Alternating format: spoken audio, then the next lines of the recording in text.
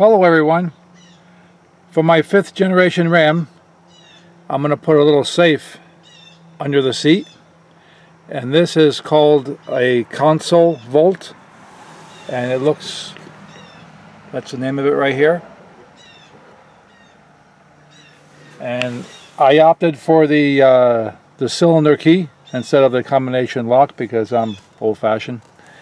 And this one will have two screws, one on each side, that it bolts into your uh, your console. Drops right into your vanity or whatever you want to call it. Anyway, I'm going to drop it in now. This looks like a nifty little box.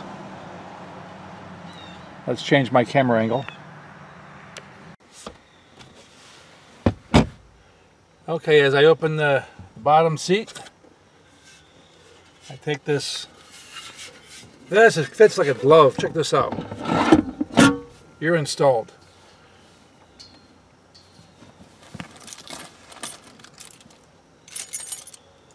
Now you're going to lose a little bit of storage space, of course. If you have a lot of junk in here, you're going to to take some of it out, find another home for it.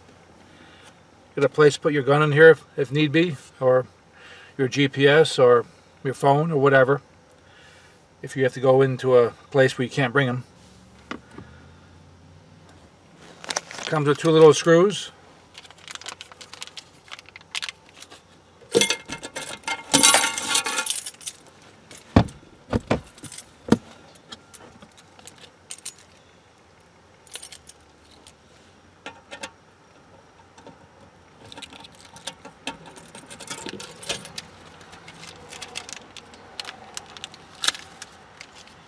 So that's it.